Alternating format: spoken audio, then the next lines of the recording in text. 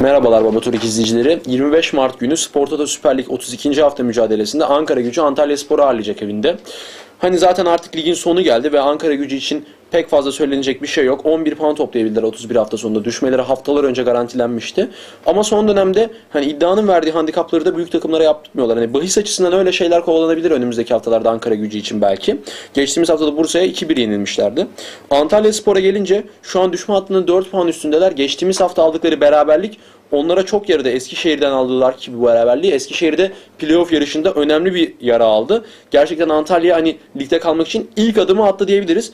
Bu hafta da kazanırsa Manisa'nın bir puan kaybında zaten kümede kalmayı matematiksel olarak garantileyecekler ki zaten son iki haftaya 4 puanlık bir farkla gelse, girse, girseler bile Manisa'nın hani kazanması halinde çok büyük bir avantaj olacaktır. Böyle zayıf bir ekibi deplasmanda da olsa bırakmak istemeyecektir Antalya Spor. Bence Canavli ile saldırıp bu maçı kazanacaktır. Maç sonu 2 diyorum.